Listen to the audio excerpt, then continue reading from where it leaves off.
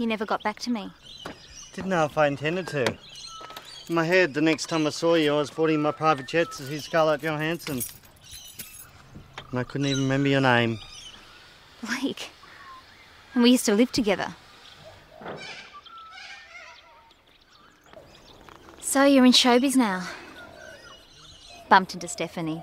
Thought your new career was quite funny. Well, he would.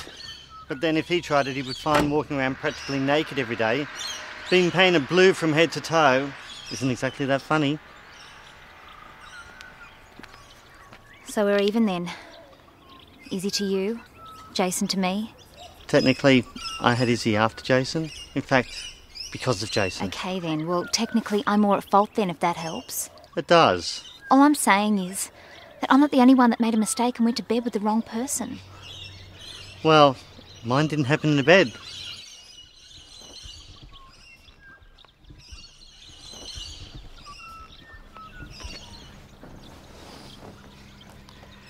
Maybe being dressed like a clown every day and handing out free stuff is my true calling.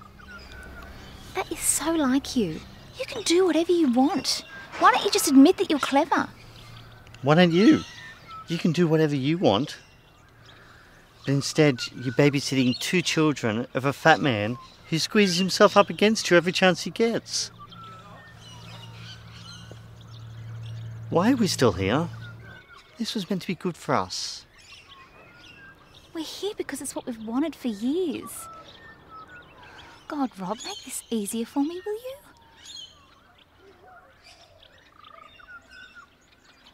Can't we go back to the way it was? See how we go?